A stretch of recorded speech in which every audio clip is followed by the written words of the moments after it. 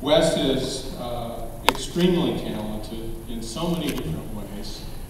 Uh, his service to our department, to the university, and to the community has been uh, exceptional.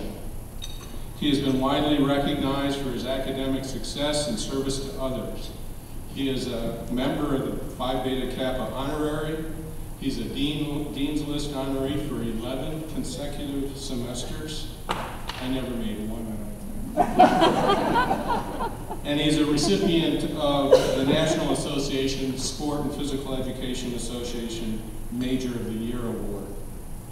Wes was recently featured on the HHS uh, website in the Student Spotlight. Wes is a very passionate, thoughtful, caring, and I might add, humble student and young professional. His academic achievements and service have earned high praise from our faculty throughout his studies in health and kinesiology. More recently, he has received high marks from his mentor teachers during his student teaching experience at both the middle school and elementary school levels.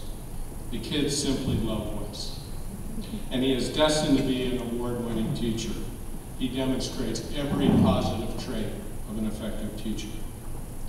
Beyond his academic honors, Wes has greatly contributed to Purdue's mission and engagement through his service to children and adults in our local community. He has been assistant director and teacher in the Peach Pals program that serves over 50 children with physical and cognitive disabilities from our community each semester and summer in a special five-week gym and swim activity program. This program just received a Focus Award from the Office of Ethics and Compliance. The award recognizes programs that make outstanding contributions to Purdue's commitment to disability, accessibility, and access.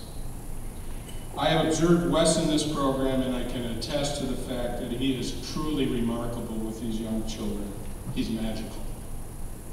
Wes has also served as a clinician in other programs serving children and adults. He has worked with Purdue's award, uh, awards-winning PALS program that engages, as was said before, over 500 at-risk youth every summer, and he has served, served the children of deployed military personnel and Purdue's Operation Purple program.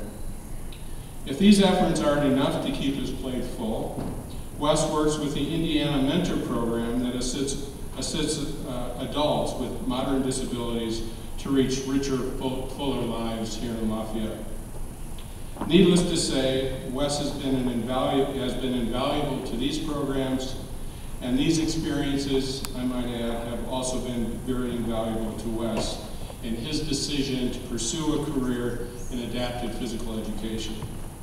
His ultimate goal, I understand, is to work in the academy as a professor in adapted physical education. Not surprisingly, Wes has been accepted for graduate study next fall in adapted physical education at Oregon State University, the Ohio, the Ohio State University, and the University of Georgia.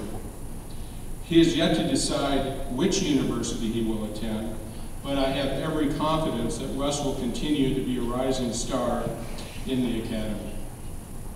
Based on his outstanding record of achievement, it is true, truly a, a real pleasure to present this award to Wes, someone we will most likely applaud in the years ahead.